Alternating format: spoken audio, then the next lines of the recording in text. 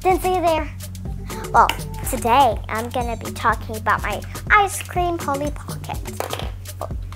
I packed it all up when I was finished playing with it yesterday. Here's the Polly Pocket. Here is a table. Table, table, a Polly Pocket table. Table, table, a Polly Pocket table. Grab the chair. Drag it. Ugh.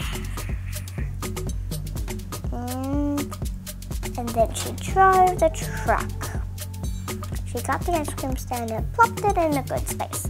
Then she put the ice cream and everybody got their ice cream. So, maybe when you grow up, you could work an ice cream truck and serve ice cream. You never know. You never know.